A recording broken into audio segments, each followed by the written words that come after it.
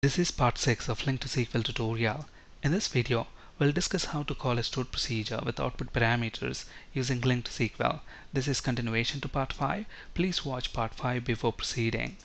The first step here is to create the stored procedure itself. So let's flip to SQL Server Management Studio. Here we've got a stored procedure with name get employees by department. Notice the stored procedure has got two parameters. The first parameter is the input parameter and the second parameter is the output parameter. So what is the stored procedure going to do? The stored procedure is going to return us all the employees by department. So if we give it a department ID then the stored procedure is going to return all the employees belonging to that department. So this is the statement. Notice that we are selecting all employees from employees table where department ID equals at department ID, whatever department ID we are passing in. And in addition to that, this stored procedure is also going to return the department name using this output parameter. So notice into this output parameter, we are selecting the name column from departments table where ID equals the passed in department ID. So let's quickly test this stored procedure. So first let's declare a variable and let's call that at dept name of type nvarchar. So this variable is going to receive the department name. So we want to execute this stored procedure get employees by department and this stored procedure has got two parameters the first one is the input parameter where we need to pass the department ID and the second one is the output parameter. So we need to pass a parameter here which is going to receive the department name. And that is going to be at dept name. And since this is an output parameter we use the out keyword. And let's select whatever value that this variable has received so let's execute this piece of code. But before we do that, we need to create the stored procedure itself.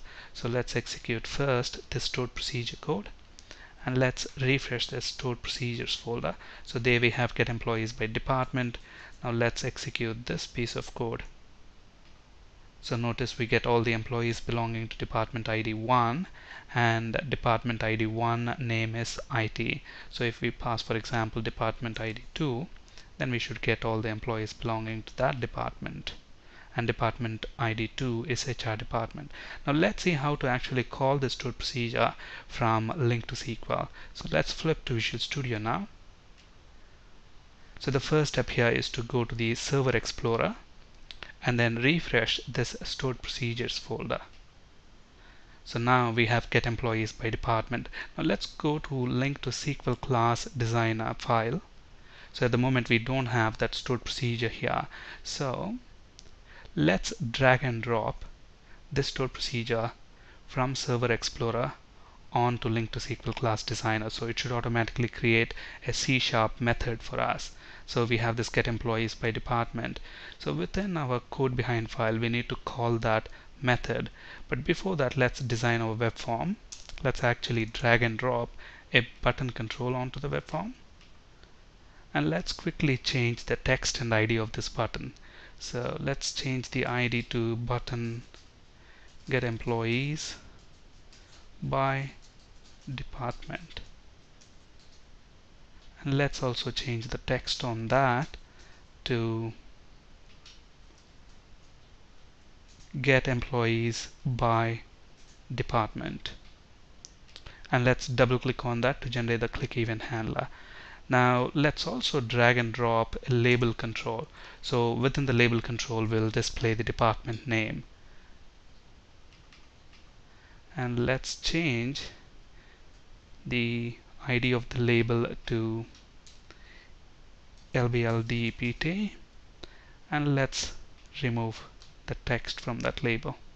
Alright, so now let's click this button. So now we need to call the function which represents our store procedure. So the function that represents our store procedure is this function get employees by department. So here first we need to create an instance of our sample db context class. So sample db context, let's call this db context equals new sample db context.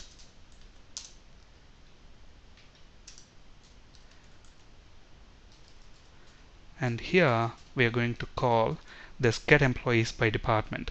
Now if you look at this method, notice that it has got two parameters. The first parameter is the department ID, which we'll have to pass as the input parameter to the stored procedure. And look at the second parameter. This is a reference parameter. And this is the parameter which is going to receive the department name that the stored procedure returns okay? And if you look at the return type of this method notice what it is returning. It is returning an i single result of get employee by department result. Okay? Now we can change this return type if we want to employee uh, but we discussed that uh, you know in our previous video sessions. So I'm not going to change that now. So we need to pass the department ID so let's pass department ID as 1 and here we need to pass a parameter which is going to receive the department name. So first let's create a variable of type string. Let's call this dept name and let's initialize that to an empty string. And since this is a reference parameter we need to use the ref keyword as well and then pass the parameter so whatever this function returns, you know, we are going to set that as the data source for our grid view control.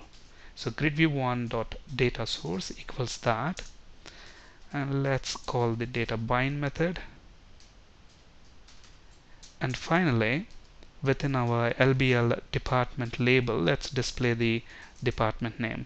So let's set the text on that to department name equals whatever this variable has received. Alright, with all these changes, let's run this.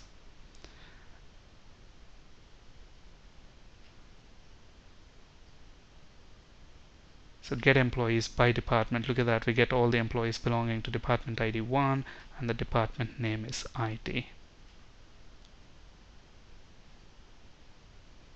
That's it for today. Thank you for listening. Have a great day.